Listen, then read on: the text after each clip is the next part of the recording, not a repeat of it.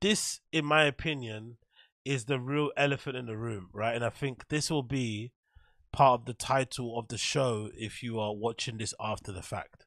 So this clip is taken from the Joe Rogan Experience featuring Ari Shaffir and Big Jay Oakerson, and they're essentially talking about um, stand-up comedians and the quality of them, and sometimes when you have this occasion where you meet somebody in stand up who happens to be a stand up, you like them first, but then you realize they're terrible at stand up after the fact, then it kind of taints how much you like them because now you don't want to be mean and tell them they're crap at what they do, but you do like them as a person. So that kind of conundrum.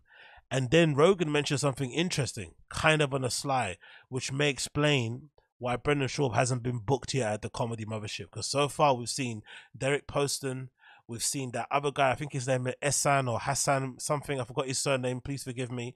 Those two guys used to write for flipping Brendan back in the day. We've seen Eric Griffin now recently, who's a co-host on the flipping. Oh, my hands look kind of dry here, don't they? Um, we've seen Eric Griffin, who's a co-host on the flipping Golden Hour. He's recently got booked to do a, you know, Eric Griffin and friends at the mothership. So slowly but surely, Rogan is picking and choosing people from LA who he's fans of to have performing at his show. But we haven't seen Brendan perform there, even though him and Flippin' Joe are good friends. And we haven't seen Callen perform there, actually, even though him and Joe are good friends. And Chris Lee, we also know that's not going to happen because, you know, those allegations. But it's been very interesting to see that kind of happen in real time of like, oh, these guys kind of pretend like they're best friends and they got each other's back. But actually, you can tell a lot about what they think about each other via their actions, especially when it comes to stand up. Who do they go on tour with? Who do they let open for them? Bloody Blah blah blah blah will kind of let you know how they see each other in terms of the hierarchy or the quality in flipping stand up and material that they got.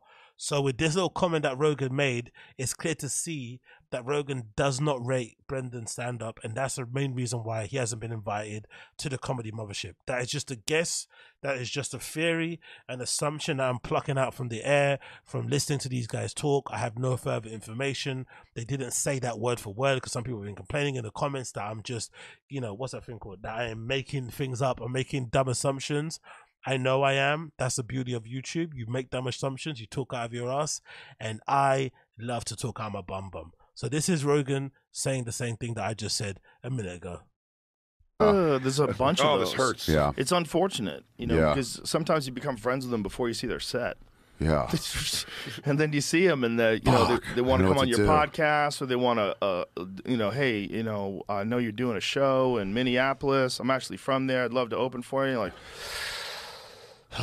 Yeah. well, we got a problem And then Oh, you got to go. I, I just booked I'm somebody. And you got to scramble to no get no somebody no right you, then. you kind of have to have a real conversation with them otherwise it's going to keep coming up but you got to kind of figure out a way to say it in a way that's yeah, fortunately I've, i haven't had to do that to too many people Yeah, I'm not that person. it's not at all. even th- it's You'll just, just like, take it. yeah i mean I I'll, just, eat, I'll eat, absolutely take it. So, interesting comment there, right? And first of all, I have to say, I kind of respect Rogan for being like, hey, no, you have to have that conversation. I kind of like that because I'd imagine a lot of people kind of are also thankful of it when they find out that he doesn't rate their comedy because it at least lets you know where you stand.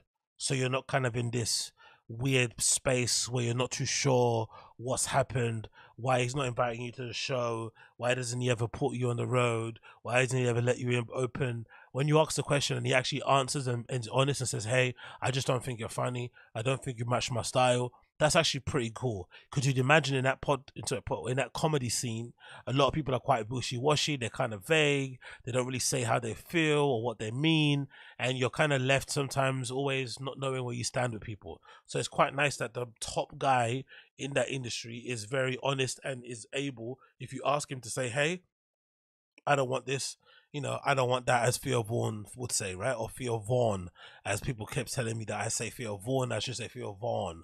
But anyway, as Theo Von would say. So I get that and I like that. But one thing that's really hilarious, a lot of people have been saying out here, is that Rogan kind of thrust Brendan out onto the stage. He catapulted him to success and to stardom, but didn't really. So no, catapulted to stardom. So now he's kind of to blame for basically unleashing Rogan uh, or unleashing Brendan onto the world and kind of subjecting us to flipping You'd Be Surprised and Gringo Papi and whatever else he makes in the future. Like people are saying it's Rogan's fault. I don't believe that. I think it's mostly Brendan's fault. I think it's not Rogan's fault for looking out for his friend and trying to do right by him, especially after he made him quit the UFC he kind of did what a good friend would do and basically gave him an, uh, a kind of um, a sec a backup plan that then led to him becoming richer and more successful than he ever would have done in any other avenue that he would have pursued that didn't work out for him. So credit to Rogan for being a good friend. It's not his fault that Brendan didn't do comedy the quote unquote right way to kind of make sure that he gave himself the best chance to be successful and to be funny. He just went kind of the short way, took shortcuts, um, took advantage of people's generosity, of the friendship he had with Rogan, and essentially kind of went and hurt him as well in the long run because now you're seeing that Rogan, despite being a little bit up his own ass and quite insufferable, one thing that Rogan does have and takes seriously is stand up. He's a real student of the game and he doesn't suffer fools gladly when it comes to Swass. So I kind of do like him and his ability to be really honest when it comes to stand up, especially amongst his friends. He doesn't, you can tell he's not the kind of guy that's going to put somebody in just because they're friends. He actually, actually like you. And that's a really good, um, that kind of makes you trust what he has to say about stand up more. Yeah, big up Fresh Out of the Water Baddie. Thanks for helping me through another 10 hours shift. no worries, Water Baddie. Happy to help, man. This is this is kind of slightly been my dream anyway because I think I mentioned it prior. Um, I don't have many uh, IRL friends.